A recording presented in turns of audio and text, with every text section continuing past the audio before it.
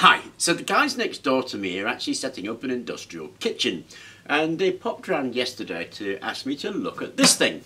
This thing is a deep fat fryer. It's in a commercial industrial unit, freestanding with its own little counter. So these things cost quite a few hundred pounds and they picked it up for very little indeed with only one problem with it. It's broken. Now this sort of stuff actually is tremendously easy to repair and you can pick it up for just a few quid, no problem at all. What breaks in them is this in the back. This in the back is a bunch of um, quite old control electronics. So what I need to do really is take that stuff out and have a look at it. So let's get it out and get it onto the bench. So the main components actually lifted out really easily and it's pretty common in kitchen gear which is really a heating appliance to have the same parts in them. We've got a heating unit here which is basically just a coil and this coil actually is in a bit of pipe the pipe is stuffed with an insulating material and the coil is inside of the pipe and that's what you can see at the ceramic contact here actually. So they're always a different shape but essentially exactly the same thing. So you have some kind of heating element.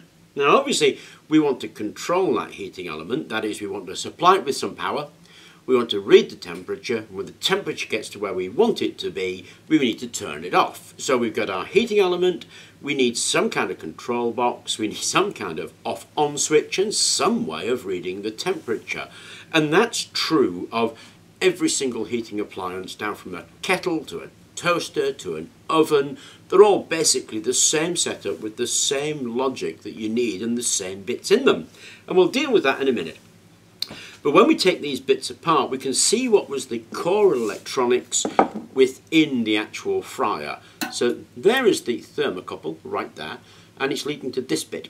This bit actually has no controls on it but a big red button. So clearly that is the emergency cutoff. So there's the cutoff switch if you need to press it and this will be set to some temperature where it would cut it off once that excess temperature was um, met. So that's the emergency system right there. Cutoff switch and a excess temperature reading. Then this was the main bit that was connected to the control knob. So this is obviously a little thermocouple and it'll be a bimetallic strip thermocouple of some description I'm guessing. And there is the sensor probe that went into the fat. So that's the one that you can control, which is the one that you twiddle up and down to give you a different temperature. Now there was a, bizarre thing with this, which I kind of quite liked actually, uh, and that was this thing. This is just a mechanical um, timer. It's not connected to anything, it just gives you a bing when the things are done, which I think is cool. So I'm going to re-put that back on so the, the lads get their bing back. So that one I'll save and put back on because it's not actually doing anything apart from giving you an audible warning some time is over. The main controls are these two here, which is what we're going to replace with new electronics, and we'll show that in a minute. Now, with reclaiming all of this stuff, what I'm smiling at is it's actually disgusting. But with reclaiming all of this stuff, in particular kitchen gear, it's almost invariably uh, stainless steel when it's commercial, so it cleans up beautifully. And it's almost invariably covered in old food, old fat and thick layers of grease, which is exactly what this is. So removing all of that stuff was, was quite a horrible job actually because it mostly it was sticking to it and then sticking to me. I can't tell you how many screws I've had stuck to my fingers. But you do need to remove it because of course it is commercial kitchen. It is going back into preparing food. So the whole thing needs cleaning and you can see it's actually relatively gunky. But it's stainless steel, so it's dead easy to clean. Just dip it in a bowl of uh, hot water and get some uh, wire wool on it and it'll come up beautifully and shiny like that. So our next job actually is to clean all the fat and gunk off of this stuff. These things, they always follow the same routine really. I mean, you just disassemble everything, give everything a clean, we're going to replace all the worn out stuff and put it all back together. So everything's had a nice clean to it, so it's all nice and shiny, all that grease is gone it really makes a difference. Now, when I took these plates off, I noticed there was a little bit of silver paint there actually, so I might repaint those for them, so they're nice and silvery, got a bit of chrome spray, uh, spray paint. But the main thing, obviously, is this control stuff. There we go, that's what I'm looking for. This old mechanical stuff's had its use really, and it is time to replace it. And we're going to replace it with a PID controller, a nice thermocouple, and a solid state relay. Now all these things are matched. This PID controller has its range from 0 to 400 degrees centigrade. Same thing with the K-type. And it matters actually, because if you get a PID controller at 0 to 1300 degrees centigrade, then in its lower range, in that 0 to 200 range, it's actually reasonably inaccurate. They're always inaccurate in the lower part of the range, and they get more accurate the further up you go. So we're going to be cooking, or the guys are going to be cooking in fat. It's not going to go more than 400 or the thing will burst into flames. So we want a degree of control at the bottom end and we're not going to go up too high. So I chose a PID controller that's not to 400 and that means sort of their first 50 degrees or so it's going to be a bit inaccurate but around about that sort of 100 to 250 degree range it's going to have nice accuracy for them. Now we have got rid of the safety mechanisms so we do need to put the safety mechanisms back in and one of the things we're going to do is put a thermal cutout switch in. And these thermal cutout switches uh, arrive in a, a package either circular or a lozenge shape like this one here and they're rated for the temperature at which you want them to cut out. So these ones are actually for uh, heating mats. So the cutout on this one is 40 degrees C. So once whatever this is touching reaches 40 degrees C, this is just a little switch in here, it's a bimetallic strip, it'll open, it's an emergency cutout. And we're going to put a cutout switch in here as the circular ones that I actually got from a microwave oven, and the cutout temperature on that is 350 degrees centigrade. So if it gets above that temperature, it will just automatically cut out, and you put that in the live, so that it's like an emergency switch. The other thing we're going to need to add, obviously, is this thing, which is what did the thermal cutout before, had a probe uh, for the we're going to replace with our thermal cutout switch and an emergency shut-off switch. So we're going to separate that item into two items, a thermal cutout and a separate emergency switch. And that's because it's going to be used in a commercial environment again, so we need to add those features. So that's all we're going to do. So now what I'm going to do is reassemble all of this and get the electronics in place. A little bit of painting, a little bit of hole cutting. Okay, so there it is back together. Now I've cleaned everything and I've tried to preserve what I can. So where I put the PID controller, I've actually taken this control out and made it part of the decoration. So just trying to sort of preserve it, make it look balanced still, make it look pretty. Um, they did have, remember, the emergency switch at the back, which seemed really weird to me, because if you've got an emergency here and you're trying to lean at the back to try and get it, that didn't seem to be sensible. So I bought an IP rated enclosure for it, because obviously it's a fat fryer, so we've got an IP rated enclosure, and now the on off switch and the kill switch are going to be at the front just down there, so that's actually going to be there. And that seems much more reasonable to me.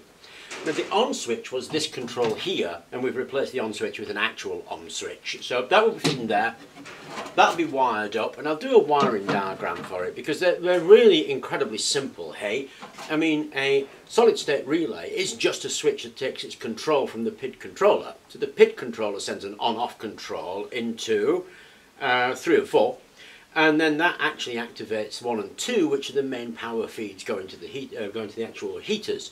So all you really do is follow the diagram on the back of the PID controller, wire in the uh, solid state relay, wire in the um, thermocouple, just like it says on the picture, and that's all there is to it. And we've gone through that on different uh, videos where we've done kilns. So the wiring of this is no different to the wiring of a kiln. Obviously it's a little different with this switch, but these switches actually, are, again, all this stuff has pictures on the back. So you just wire it according to the picture on the back and you're done. The only other thing we still need to do is this thing. This is a bit of a weird little thing. This is a um, thermocouple, actually. It's a bimetallic strip and it's contained in this case. There's a little heat contact there.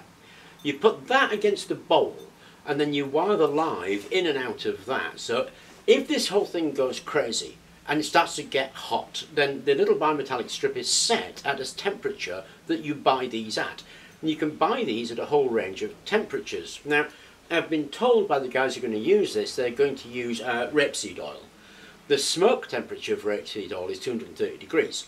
So we want this to cut off round about 220 to 240 degrees centigrade, something round about there.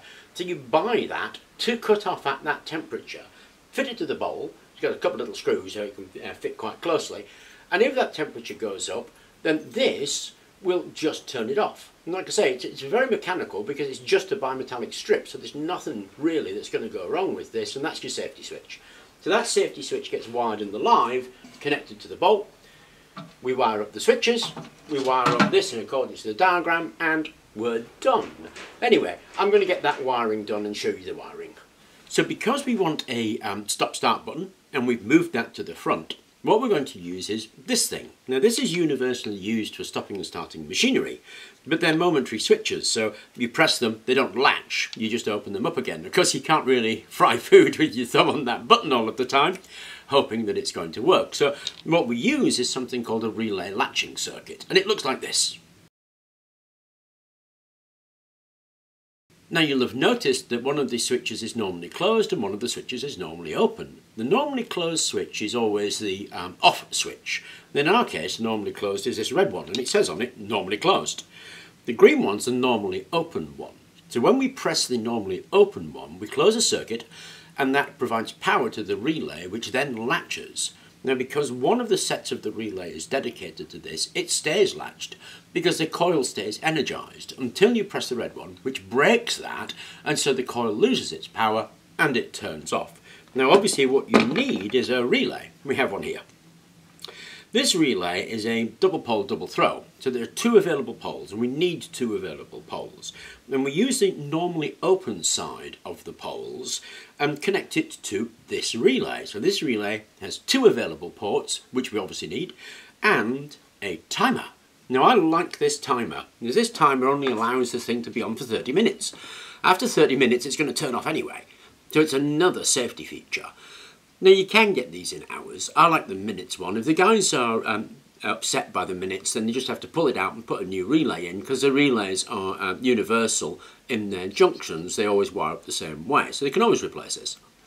But I'm putting a 30 minute one in so the fryer can only be on for 30 minutes at any particular time. As they plan on frying something quickly, then obviously they don't, they don't need more than 30 minutes. If they want longer, they're going to have to swap the relay. But I'm putting a 30 minute relay in it as a safety feature. And I quite, I quite like that actually.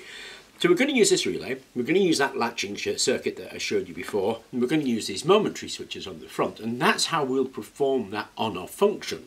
Now, that function is performed in that way for a whole host of machinery. If you're looking at running motors, so lathes, drills, saws, then you have a relay latching circuit. If you ever wanted to um, do a relay latching circuit or run your own um, saw or drill with safety, then this is the way to actually do it. So it's a tremendously useful circuit, even though it looks a little bit weird. So Wiring it isn't that difficult either. We'll get on with wiring it and we'll have a look how it's physically actually wired.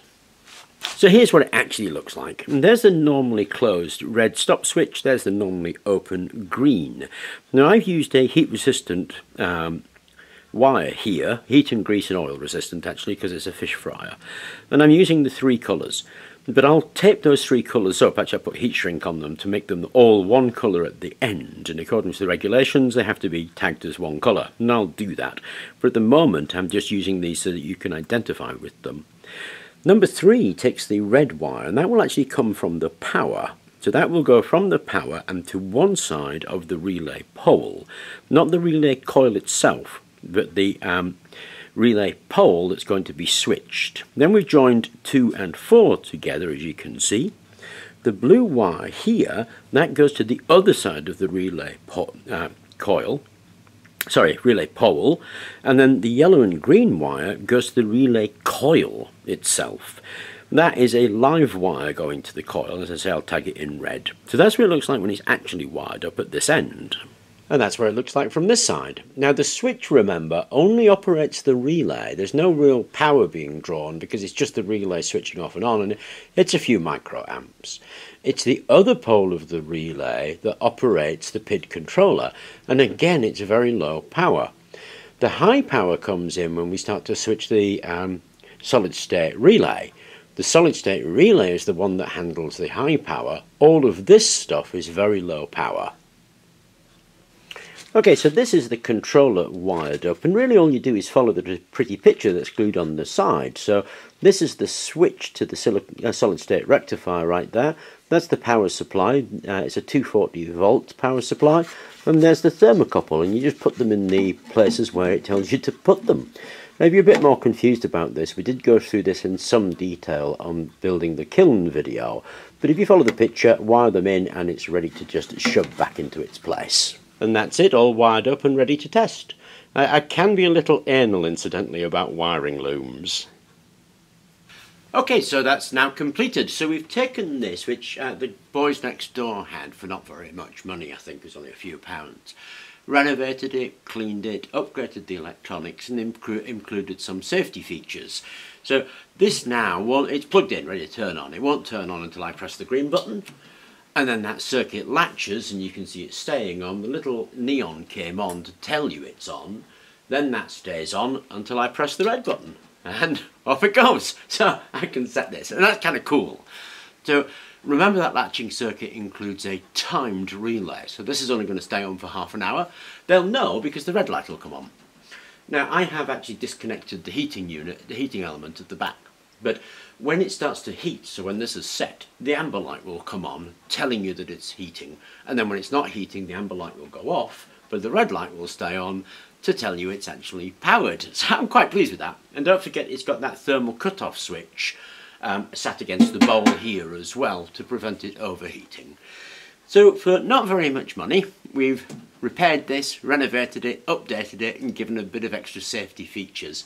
Um, the wiring actually is identical to a kiln wiring. So if you have a look at the kiln wiring, it'll show you how the PID and the uh, solid state relay was used. The only difference here is that we've included that latching circuit for this on off switch. So that's the, the main thing here is that we've done new is that.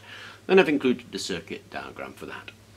Now all of the power is on uh, very low actually. It's quite low amps. It's all 240 so you do need to be careful but it is low amps apart from the solid state relay side, which is the bit that runs these, and that's a high amp draw. Anyway, I found it interesting, I hope you enjoyed the video, and thank you very much for watching.